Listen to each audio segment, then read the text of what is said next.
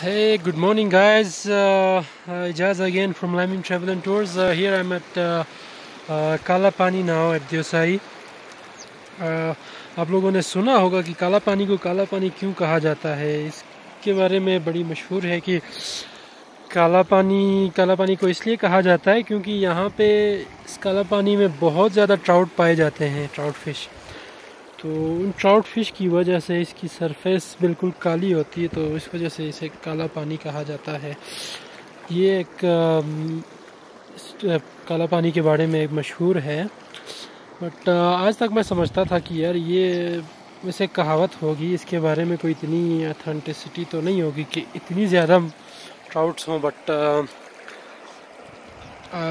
अब मुझे कुछ यकीन आने लगा इस चीज़ में, क्योंकि अभी हम इधर आए हुए हैं और जो ये देखें ट्राउट फ़िश के जो छोटे छोटे बच्चे हैं वो सारे इतने ज़्यादा हैं। ये देखिए मैं आपको दिखाने की कोशिश करता हूँ, पानी में।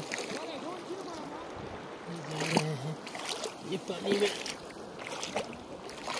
पानी के साइडों पे, क्योंकि ये जो छोटे जो बच्चे होते हैं, पानी के तेज़ बहाव में नहीं रहते। साइडों पे रहते हैं, जब ये बड़े हो जाते हैं तो फिर पानी में जाते हैं। तो I hope you have seen it तो बहुत ज़्यादा मछलियाँ हैं। मैं सोच रहा हूँ कि कुछ यहाँ से पकड़ के ले जाऊँ और घर में कुछ पौंड बना के वहाँ पे उनकी फ़ार्मिंग करूँ। So thank you guys